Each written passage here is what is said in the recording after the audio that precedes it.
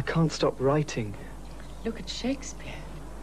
39 plays, 154 sonnets. What a scribbler. I spend hours writing checks. I can't stop. Would it help if I presented my bill now? I can't resist all those spaces to fill in. The amount in figures, the amount in words, the date. Have you never heard of Barclays Bank? I'm not daft. I'll be the judge of that. Look at this. A credit card? It's a Barclays Connect card. Thousands of Barclays customers have one. It's exactly the same as paying by check at Visa outlets. All you have to do is to sign your name. Debits your current account direct. A Barclays Connect card. I'm cured.